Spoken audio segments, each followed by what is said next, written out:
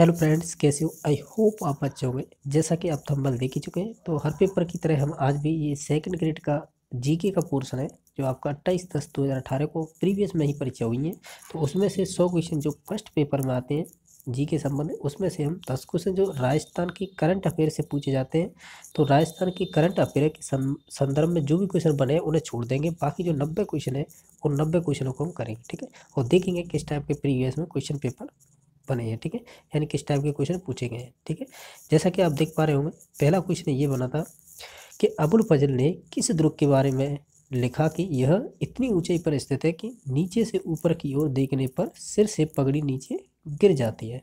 तो ये किस दुर्ग के बारे में कहा था? उन्होंने कहा था कुंभलगढ़ दुर्ग के बारे में, यानी ऑप्शन नंबर दो करेक्ट आंसर हो जाएगा। नेक्स्ट क्वेश्चन ये है कि 25 मार्च 1948 को गठित राजस्थान संघ में निम्नलिखित देसी रियासतों का कौन सा समूह सम्मिलित नहीं था? तो इनमें से बताना है कौन सा सम्मिलित नहीं था। तो वो आपका उदयपुर, डूंगरपुर, बांसवाड़ा और प्रतापगढ़, ये सम्मिलित नहीं थे जो 25 मार्च 1948 को जो राजस्थान संघ में, ठीक है? तो ऑप्शन नंबर इसका तीन करेक्ट आंसर हो जाएगा, ठीक है? नेक्स्ट है, ये क्वेश्चन बना था तीन नंबर पे। कि अकबर के विरुद्ध चित्तौड़गढ़ आक्रमण, जो पंद्रह सौ सड़सठ अड़सठ ईस्वी के समय कौन से लोक देवता युद्ध करते हुए मारे गए थे? तो पर्टिकुलर आपको लोक देवता बताने तो वो आपके थे वीर कल्ला जी, ठीक है? तो ऑप्शन नंबर चार करेक्ट आंसर हो जाएगा। नेक्स्ट है कि सम सभा की स्थापना किसने की थी? तो गोविंद गिरी ने की। तो ऑप्शन नंबर चार करेक्ट आंसर हो जाएगा। नेक्स्ट है आपको ये मिलान करने हैं, यानी ये सुमेलित करने एक तो एक तरफ़ तो दे रखे हैं शरीर का अंग और फिर दूसरी तरफ़ दे रखा है आभूषण और मिलान करना है। कौन सा आभूषण शरीर के किस अंग में पहना जाता है, ठीक है? जैसे सिर में क्या पहना जाता है, इनमें से देखना है। तो सिर सिर में हम पहनते हैं, वो मेमंद पहनते हैं। क्या पहनते हैं? मेमंद तो ऑप्शन नंबर ए का चार हो जाएगा, ठीक है। नेक्स्ट देखते हैं और क्या दे रखा है, ठीक है? अब गले में क्या पहनते हैं हम? गले में पहनते हैं हम हंसली ठीक है? बाकी कमर में क्या पहनते हैं? कमर में पहनते हैं कड़कती, ठीक है? और पैर में क्या पहनेंगे? जैसे रिम जोल बोलते हैं। तो ऑप्शन नंबर इसका चार करेक्ट आंसर हो जाएगा।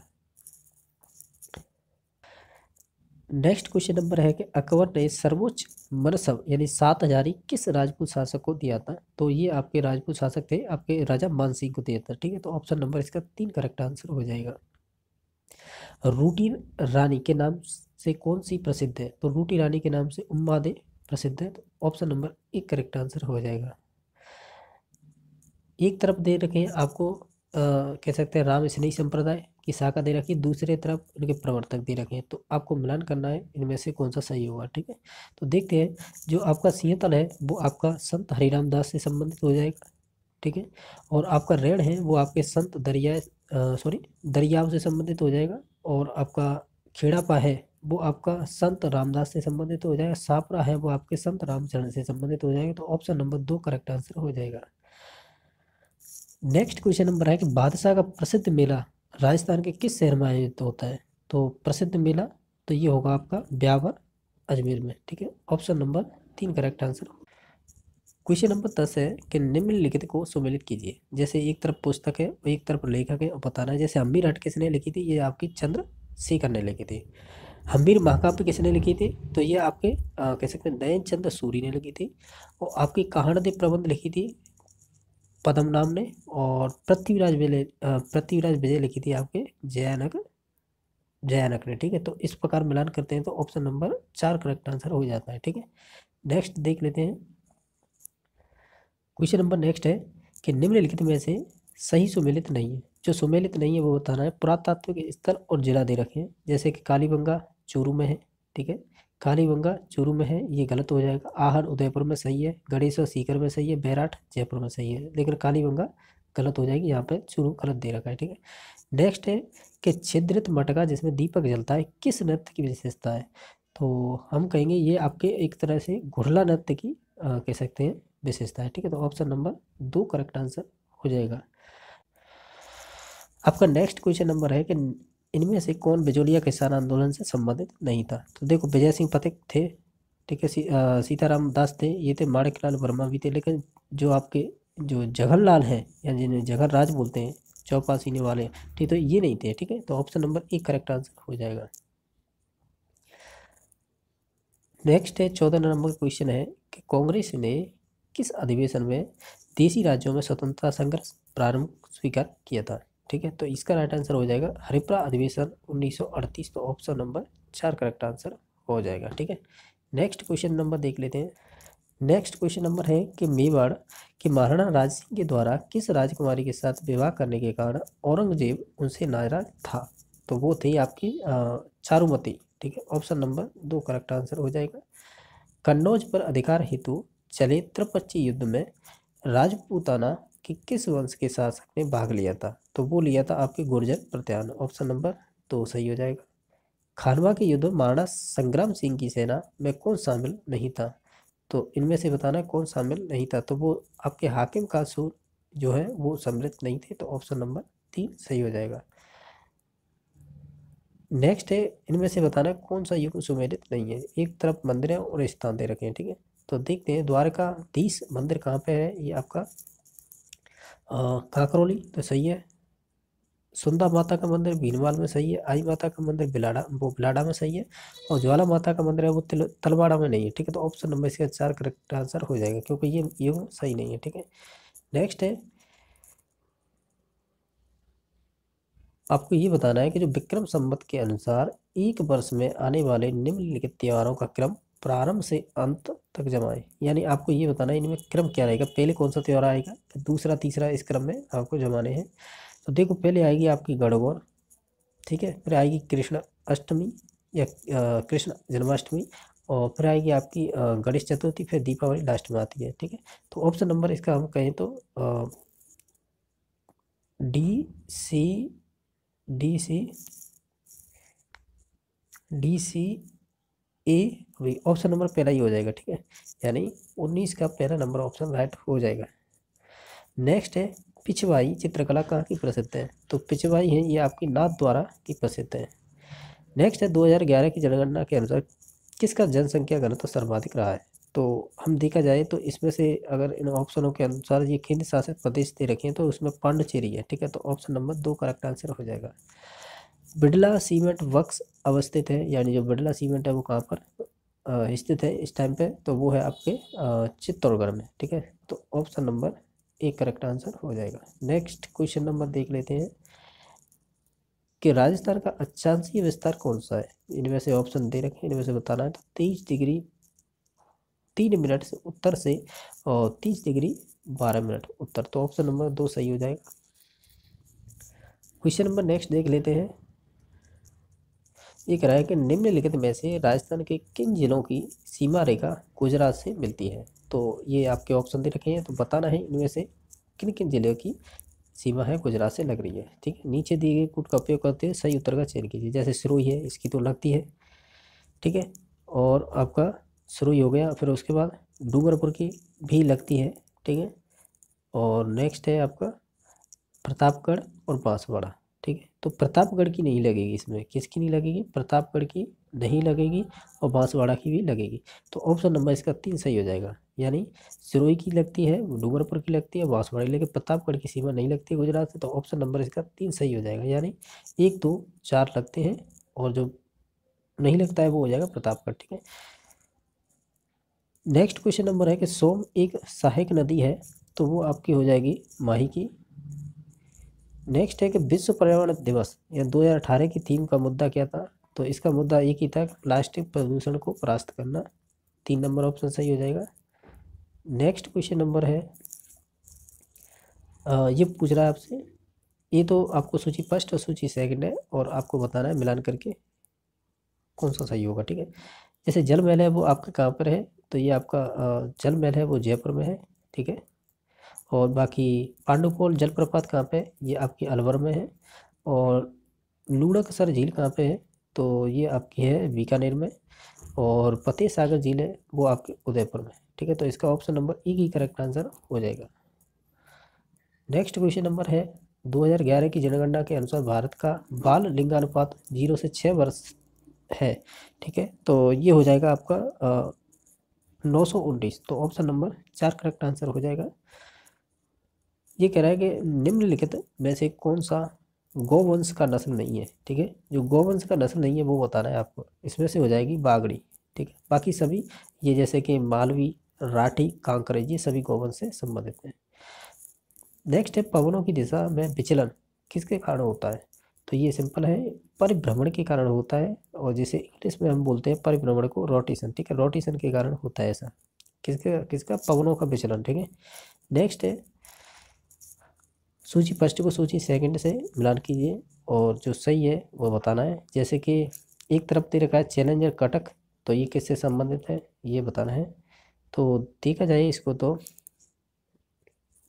अब सही है, ठीक है।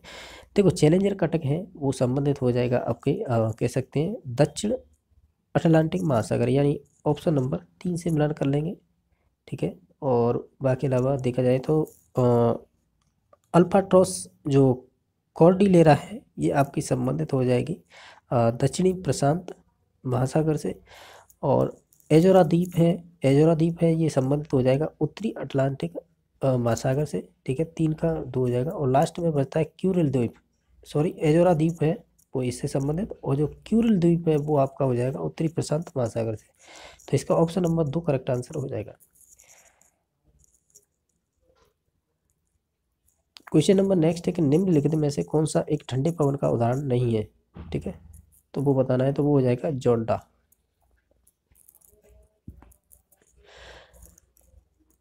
राजस्थान में वामा स्वास्थ्य बीमा योजना के अंतर्गत अधिकतम बीमा राशि रखी गई है तो अधिकतम रखी गई है वो तीन लाख रखी गई है। देखो ये उस टाइम के करंट के अकॉर्डिंग है तो इस टाइप के क्वेश्चन को हम नहीं करेंगे, आगे आएँगे तो।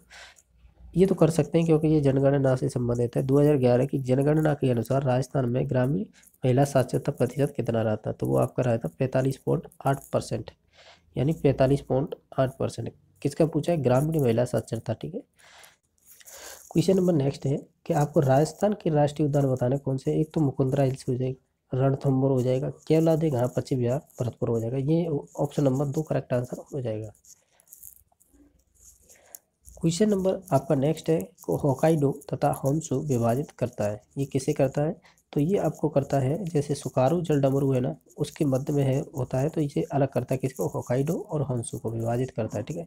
नेक्स्ट है, को कोपेन की जलवायु वर्गीकरण के अनुसार राजस्थान किस प्रदेश में ई डब्ल्यू प्रकार की जलवायु पाई जाती है? तो दक्षिणी प्रदेश में पाई जाती है तो option number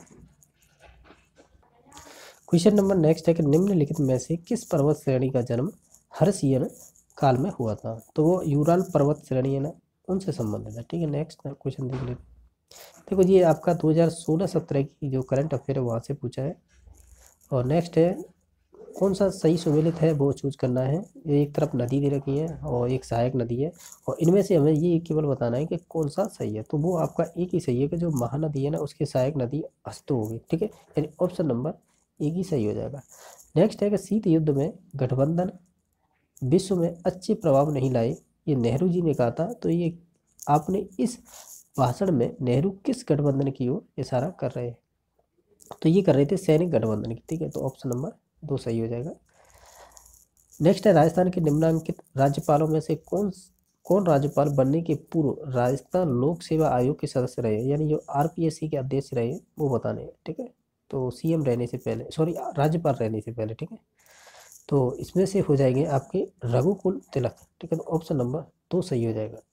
क्वेश्चन नंबर है फोर्टी थ्री यानी तैतालीस नंबर है भारत के राष्ट्रपति निर्वाचन के लिए नाम निर्देशन पत्र प्रस्तुत करने के संबंध में कौन सा या कौन से कथन सही है? ठीक है, कथन दे रखे हैं एक, दो, तीन, ठीक है, इनमें से देख लो कौन से सही है। ठीक है, हमें वो देखना है केवल। तो ये हो जाएँगे आपके तीनों ही सही हो जाएँगे। ठीक है तो ऑप्शन नंबर चार करेक्ट आंसर हो जाएगा। ई सचिवालय है, यानी जो ई सचिवालय है, ये किस प्रकार से संबंधित है? तो ये आपके राज्य सरकार की एक परियोजना है ई सचिवालय ठीक है? नेक्स्ट है कि निम्नांकित में से कौन प्रधानमंत्री के पद पर रहते हुए राज्यसभा में सदन के नेता नहीं रहे हैं? तो वो सिंपल है इसका। आपके विश्वनाथ, ये विश्वनाथ प्रताप सिंह है, वो है तो ऑप्शन नंबर एक सही हो जाएगा। लोकसभा में सरकार दल का मुख्य सचेतक कौन होता है? तो ये ऑप्शन दे रखे हैं चार आपके। तो ये होता आ, होता है आपका संसदीय कार्य मंत्री। तो ऑप्शन नंबर चार सही हो जाएगा। नेक्स्ट क्वेश्चन नंबर है कि निम्नलिखित में से किस भारतीय लेखक ने विश्व सरकार के विचार का विरोध करते हुए वैश्विक स्तर पर 20 से 25 क्षेत्रीय महासंघ बनाने का विचार प्रस्तुत किया था? तो वो थे आपके रजनी कोठारी। ऑप्शन नंबर तीन सही हो जाएगा। नेक्स्ट है कि मंत्रिपरिषद द्वारा राष्ट्रपति को दी गई सलाह की जाँच की जा सकती है। तो ये आपकी जाँच की जा सकती है। एक सलाह जाँच के दायरे में नहीं आती है, ठीक है? तो ऑप्शन नंबर चार सही हो जाएगा। आपको सूची फ़र्स्ट से सेकंड को मिलान करना है। आपको बताना एक तरफ़ तो मुख्यमंत्री दे रखे, एक तरफ़ राज्यपाल दे रखे। अब आपको मिलान करना है, कौन सा सही हो जाएगा, ठीक है? तो देखते हैं इसमें से ऑप्शन हो गए, जैसा कि आप देख पा रहे होंगे। कि भैरव सिंह शेखावत थे तब मुख्यमंत्री तब आपके राज्यपाल थे रघु कुल तिलक। बरकतुल्ला खान थे सीएम तब आपके राज्यपाल थे सरदार जोगिंदर सिंह ठीक है? आपके मोहनलाल सुखाड़िया हैं तब आपके राज्यपाल थे संपूर्णानंद ठीक है? वसुंधरा राजे थी तब इनके आ, कह सकते हैं राज्यपाल थे मदन लाल खुराना। तो ए बी सी यानी कह सकते हैं पहला ही ऑप्शन सही हो जाएगा। नेक्स्ट है कि ब्लैक स्किन वाइट मार्क्स नामक पुस्तक के लेखक कौन है? तो ये सिंपल था, ये आपके लेकर आती है फ्रेंच फेनोन, ठीक है तो दो नंबर ऑप्शन सही हो जाएगा। नेक्स्ट क्वेश्चन नंबर है, नेक्स्ट क्वेश्चन नंबर ये है आपका कि भारत के संविधान में महान्यवादी के पद का विचार किस देश से लिया गया है? तो ये आपके ब्रिटेन से लिया गया है, ठीक है तो तीन नंबर सही हो जाएगा। नेक्स्ट देख लेते हैं कि भारत के संविधान के अनुच्छेद चालीस का संबंध है। तो ये आपका संबंध हो जाएगा पंचायती राज से। तो ऑप्शन नंबर कह सकते हैं तीन करेक्ट आंसर हो जाएगा। नेक्स्ट क्वेश्चन नंबर है आपका। क्वेश्चन नंबर है तिरपन। ये कह रहा है U N F C C यानी यूनाइटेड जो united nation framework convention on climate change कब लागू किया गया था? तो ये आपका लागू किया गया था 21 मार्च उन्नीस सौ चौरानवे। तो ऑप्शन नंबर एक सही हो जाएगा। संयुक्त राष्ट्र सुरक्षा परिषद के परिषद के अस्थायी सदस्य के रूप में भारत के कुल कार्य, काल रहा है। यानी सितंबर माह से पूछा है और 2018 तक का ये करंट से संबंधित है तो इस क्वेश्चन को नहीं करेंगे। राज्य मानवाधिकार आयोग के सदस्य की चयन समिति की अध्यक्षता करता है तो हम ये कहेंगे, वो करता है आपका मुख्यमंत्री, ठीक है? नेक्स्ट देख लेते हैं। निम्नांकित में से किस लेखक ने यह चिंता व्यक्त की थी कि भारत का राष्ट्रपति संविधान द्वारा प्रदत्त शक्तियों को हस्तगत कर तानाशाह बन सकता है? तो ये आपका था एल एन ग्लेड हिल ठीक है? ग्लेड हिल ऑप्शन नंबर चार सही है। 1935 के भारत सरकार अधिनियम में प्रत्येक निर्वाचित प्रतिनिधित्व में किन्हें स्थान नहीं दिया गया था? तो ये हो जाएगा राइट आंसर आपके पारसी लोगों को, ठीक है? तो ऑप्शन नंबर तीन। नेक्स्ट है कि परमाणु अप्रसार संधि को संयुक्त राष्ट्र महासंघ द्वारा स्वीकार किया गया था। तो ये आपके थे, आपके जून उन्नीस सौ अड़सठ में। नेक्स्ट क्वेश्चन नंबर है कि निम्नांकित में से कौन सी पुस्तक के लेखक लेखक हैं? वो डॉक्टर बी आर अंबेडकर नहीं है, ठीक है? तो इसमें से जो पुस्तक है वो हो जाएगी वी दी पीपुल, यानी वी दी पीपुल है, वो इसके लेखक नहीं माने जाएँगे, ठीक है? बाकी सभी के लेखक माने जाएँगे। नेक्स्ट क्वेश्चन नंबर सिक्सटी है कि कौन सा युगों सम्मिलित नहीं है, ठीक है? तो देखते हैं, जैसे कि जयप्रकाश ये संपूर्ण क्रांति से संबंधित है, यानी ये तो नेता है और ये विचार है उनके, ठीक है? तो सही है, दीनदयाल उपाध्याय, ये एकात्मक मानववाद थे तो ये भी बात सही है, ठीक है? राम मनोहर लोहिया, ये अपवाह सिद्धांत इन्होंने नहीं दिया है तो ऑप्शन नंबर देखा जाए, हमें यही बताना था, गलत कौन सा है तो तीन नंबर हो जाएगा, ठीक है? बाकी एक, दो और चार सही थे, ठीक है? नेक्स्ट है कि निम्नलिखित में से कौन सरकारी आयोग के सदस्य रहे हैं? इनमें से बताना है जो सरकारी आयोग के सदस्य रहे हैं, ठीक है? तो इनमें से रहे हैं बी शिवारमन ठीक है? तो ऑप्शन नंबर पहला ही हो जाएगा राइट आंसर ठीक है? और नेक्स्ट क्वेश्चन नंबर है सिक्सटी टू ये कह रहा व्यक्तिगत रूप से मैं व्यक्तिगत रूप से मैं इस बात को कोई महत्व तो नहीं देता कि आप संघीय संविधान या एकात्म संविधान अथवा किसी अन्य नाम से पुकारते हैं। अगर संविधान हमारे उद्देश्य को पूरा करता रहे या करता रहे तो हम नाम से कोई फ़र्क नहीं पड़ता है यह कथन किसका है? तो सिंपल था यह कथन आपके डॉक्टर राजेंद्र प्रसाद से संबंधित था। तो ऑप्शन नंबर तीन सही हो जाएगा। वर्तमान राज्य सरकार, यानी दो हज़ार तेरह से अठारह में मुख्य सचिवों का सही क्रम क्या है? ठीक है? तो ये करंट से संबंधित है तो इसे नहीं करेंगे। नेक्स्ट है, एक सौ तेईस समझौता एवं हाइड एक्ट किससे संबंधित है? तो ये आपके भारत, अमेरिका, असैनिक परमाणु समझौता है, ठीक है? तो ऑप्शन नंबर एक सही हो जाएगा। ग्राम सभा के सदस्य होते हैं। यानी जो आपकी ग्राम सभा है, उसके सदस्य कौन कौन होंगे? तो वो होंगे आपके मतदाता सूची में दर्ज ग्राम के सभी निवासी। तो दो नंबर सही हो जाएगा ऑप्शन ये करंट का है तो नहीं करेंगे, ठीक है? नेक्स्ट ये भी करंट का है। हाँ ये क्वेश्चन कर लेते हैं। तो ये भी करंट का है उसी टाइम का, ठीक है? ये भी करंट का है, चलो इसे कर लेते हैं। ये सही है कि मुकुंदरा हिल्स टाइगर रिज़र्व राज्य के किन चार जिलों में फैला हुआ है? तो ये चार जिलों के नाम बताने हैं तो वो हो जाएगा कोटा, बूंदी, चित्तौड़गढ़, झालावाड़। तो ऑप्शन नंबर दो तो सही हो जाएगा, इसका करेक्ट आंसर तो क्वेश्चन नंबर सेवेंटी सिक्स है तो आपका जो भारतीय अर्थव्यवस्था से संबंधित पूछा है, ये कह रहा है, कौन सा कथन है जो भारतीय अर्थव्यवस्था की संरचनात्मक परिवर्तनों के संबंध में सत्य नहीं है? ठीक है? सत्य नहीं है, केवल वही चूज़ करना है तो इसमें से हो जाएगा चार नंबर। सकल राष्ट्रीय उत्पादन में खनिज एवं उत्खनन के सापेक्ष योगदान घट रहा है तो ये गलत है, बाकी ये तीनों सही है, ठीक है? यानी निम्न में से किस कारण से सकल राष्ट्रीय उत्पादन हमेशा विशुद्ध राष्ट्रीय उत्पादन से अधिक रहता है तो वो रहता है आपका पूंजी उपभोक्ता भत्ता। ऑप्शन नंबर दो सही हो जाएगा। एक किस पंचवर्षीय योजना के दौरान राष्ट्रीय आय की वृद्धि दर न्यूनतम रही है तो वो आपकी रही है तृतीय पंचवर्षीय योजना में, ठीक है? तो ऑप्शन नंबर दो सही था। क्वेश्चन नंबर है कि निम्न में से किस वर्ष में कृषि क्षेत्र की वृद्धि दर ऋणात्मक रही थी तो वो आपकी रही थी 2014-15 में, ठीक है? नेक्स्ट है तेंदुलकर तेंदुलकर विधि के अनुसार 2004-5 से 2011-12 के बीच भारत के निम्न राज्यों में से किस राज्य में निर्धनता अनुपात में सर्वाधिक कमी दर्ज आई है या कराई गई है? ठीक है? तो देख सकते हैं, इसमें से राइट आंसर हो जाएगा उड़ीसा। यानी उड़ीसा बोलते हैं या उड़ीसा। नेक्स्ट है। देखो, अब यहाँ से आगे आपकी जो एजुकेशन साइकोलॉजी है ना, या इसे साइकोलॉजी भी बोल सकते हैं तो ये आपके एजुकेशन साइकोलॉजी के बीस क्वेश्चन आते हैं आपके, ठीक है? तो इन्हें देख लेते हैं, ये किस टाइप के क्वेश्चन बने थे तो डायरेक्टली देखते चलेंगे कि सम्मान और प्रतिष्ठा व्यक्ति के लिए अभिप्रेरणा की तरह कार्य करते हैं, ये प्रेरक निम्न में से किस श्रेणी से संबंधित है? तो ये आपके सम्मान और प्रतिष्ठा की बात आएगी तो ये आपके सोशल यानी कह सकते हैं सामाजिक से संबंधित है। व्यक्ति के व्यक्तित्व का अध्ययन करने के लिए प्रविधि, जिसके द्वारा किसी जीवन शैली, व्यवहार, तौर, तरीके, विचारों, भावनाओं का ऑब्जर्वेशन यानी अवलोकन किया जाता है या किया जा सकता है तो कहलाती है। तो ये आपकी केस स्टडी कहलाएगी तो ऑप्शन नंबर दो सही हो जाएगा, ठीक है? नेक्स्ट है कि निम्नलिखित में से कौन सी मुख्य प्रक्रिया बांडूरा के सामाजिक संज्ञानात्मक सिद्धांत है? यानी जो अवलोकन का सिद्धांत है, या अवलोकन अधिगम बोल लो, या ऑब्जर्वेशन लर्निंग बोल लो, ये सम्मिलित नहीं है, वो बताना है। तो देखो अवधानात्मक धारणात्मक, अभिप्रेरणात्मक। अवलोकन का जब सिद्धांत पढ़ते हैं, बांडुराग तो उन्होंने सीखने के, यानी हम कैसे सीखते हैं, उसके चार स्टेप बताए थे। तो उनमें से अनुभवात्मक नहीं बताया था।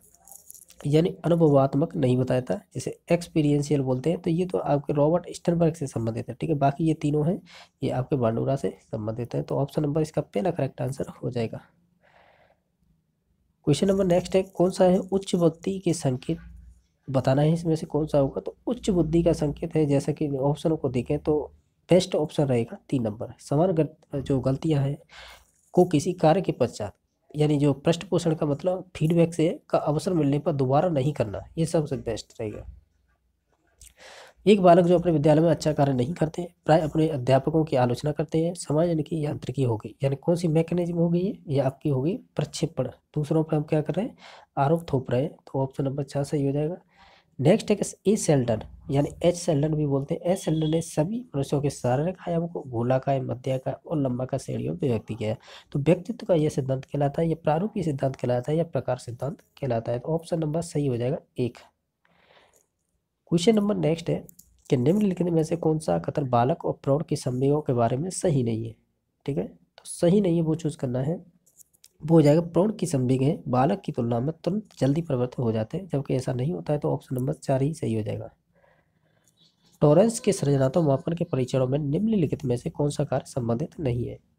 तो देखते हैं। नहीं है संबंधित ये पूछा है, ठीक है?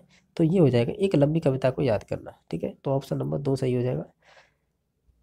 निम्नलिखित में से कौन सी अवस्था में शारीरिक विकास की दर सबसे धीमी गति से होती है तो आपकी चाइल्ड हुड यानी बाल्यावस्था में होगी तो ऑप्शन दो सही हो जाएगा।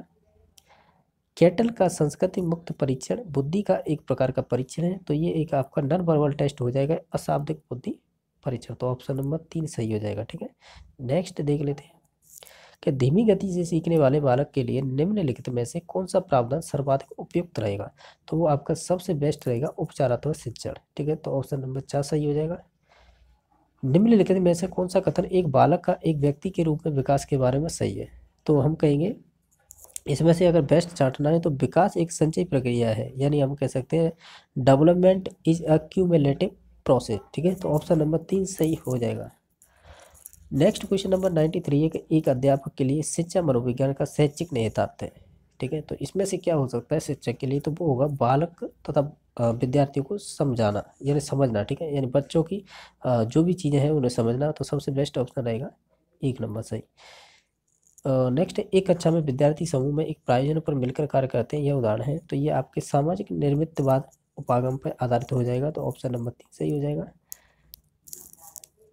क्वेश्चन नंबर आपका है नाइन्टी फाइव नाइन्टी फाइव कि रोहन बाहुबली की नवीनतम चित्रकथा की पुस्तक पढ़ रहा है, क्योंकि वह अब यह देखने के लिए इंतज़ार नहीं कर सकता है कि बाहुबली और उसके परिवार के साथ क्या घटित हुआ।